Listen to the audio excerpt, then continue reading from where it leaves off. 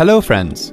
You can easily download the photos from your Google Plus account on your PC when you own or share that photo.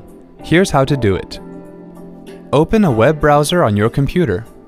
Type plus.google.com in the address bar and press enter. Now log in with your Gmail account. Click on Photos from the Google Plus navigation menu and then click Albums. Navigate to the photo that you want to download.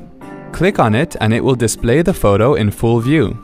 Click on Options and then click the Download Full Size option from the menu. Click Save on the download bar that appears at the bottom. When it's done, you can check that the photo has been downloaded on the selected location. Wasn't that easy? Have a nice day.